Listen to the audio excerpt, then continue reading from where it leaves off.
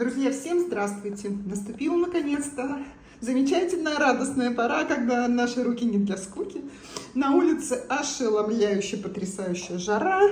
Мы уже не знаем, что нам кушать, что вот вообще ничего не хочется. Мы пьем только чаи. Э, которые заготавливаем из своих травок, да, которые выросли на огороде, э, там мали, листья малины, чебрец, мелиса, ну, в общем, все, что можно, завариваем, пьем вкусный чай.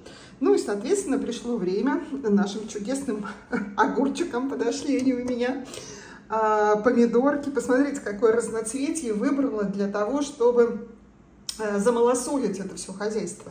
Ну и заодно показать вам, что у меня получилось из тыквенных? Вот кабачок зефир, нежный зефир, который я до этого говорила вам о нем, да, вот какие семена, что у меня из этого получилось. Как мне писали, все кабачки получились изогнутые, вот такого двухцветного вида. Здесь зелененькая, потом желтый. Мякоть у него очень плотная, маслянистая, и я даже хочу его замаринадить и посмотреть, получится ли э, он так, как огурец в маринаде. А вот подошли мои китайские кабачки. Так и называется кабачок. Китайский белый кабачок.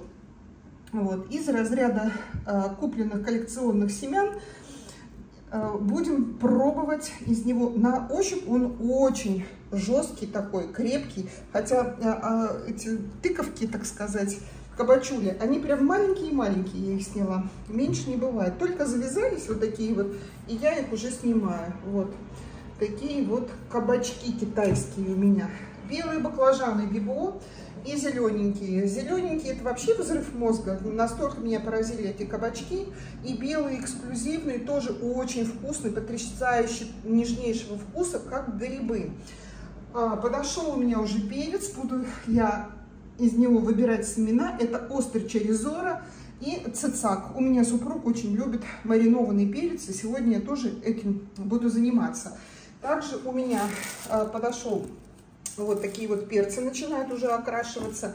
Это желтый, длинный вот такой перец, как, помните, я вам говорила, как крокодил лежит. Это сладкие рога дьявола. У меня больше нету желтых перцев в этом году. Это единственный. Вот такой вот перчик. Начал окрашиваться. Ну как же его не съесть, когда они же самые первые, самые вкусные. А вот. И э, и вот этот красненький, это макорни красный перец. Вот, и, соответственно, что мы сейчас делаем? Я очень доверяю Ларисиному вкусу, канал «Дачный житель», а сейчас э, у нее канал называется «О королях и капусте».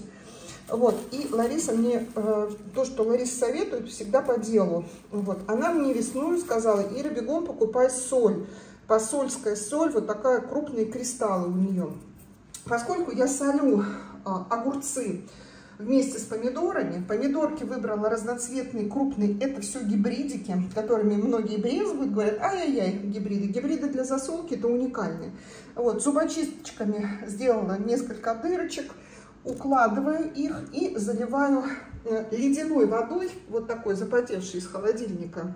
Вот, э, это ключевой момент, наверное, в засолке, чтобы вода была прям ледяная для огурцов полежали они там какое-то время в этой именно холодной воде.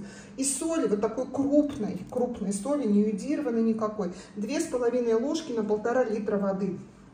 Потому что на а, помидоры нужно 3 ложки соли, а на огурцы нужно 2 ложки соли. Поэтому я смиксовала и делаю 2,5 а, ложки соли. И засаливаю. А вниз мы, конечно, кладем листики смородины, листики вишни, чеснок, укроп.